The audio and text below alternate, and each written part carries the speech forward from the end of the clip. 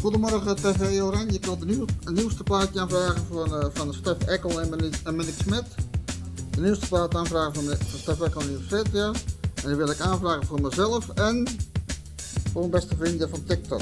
Groetjes veel en ik hoop dat die gedraaid wordt vandaag of volgende week. Hoi hoi.